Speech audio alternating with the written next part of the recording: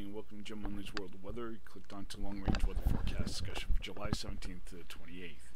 For the period July 17th to 21st, the pattern is expected to be highly anomalous amplified for July with a ridge in the west and a trough in the east. The result will be below normal temperatures in the east with possible record lows in some locations, and the west will remain hot.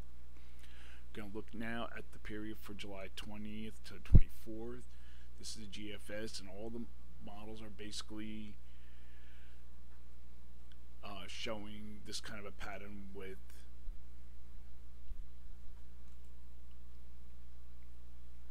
with the ridge in the west, trough in the east.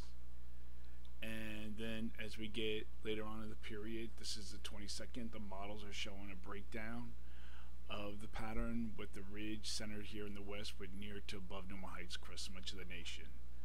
The exception might be here across the northeast. I'm going to show you there might be a bit of a trough.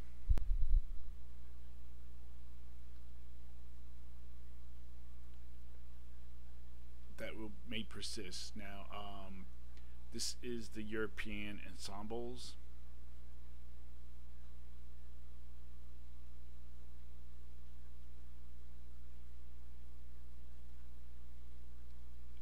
This also breaks down the uh, ridge late in the period.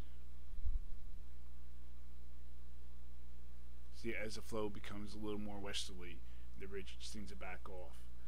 Um, so during this forecast period, I am forecasting above normal temperatures here and below normal temperatures for this region. For precipitation, forecasting below normal precipitation for this region and above normal precipitation here. Now we're going to look at the period for uh, the July 22nd to 28th.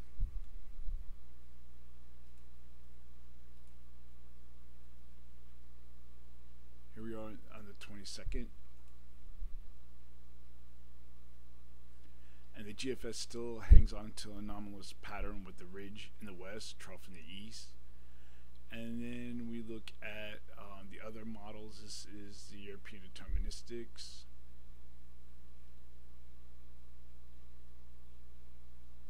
And this is the Canadian ensembles, which has um, almost a zonal flow across much of the nation, with above normal heights covering the high latitudes of the Atlantic and into Canada.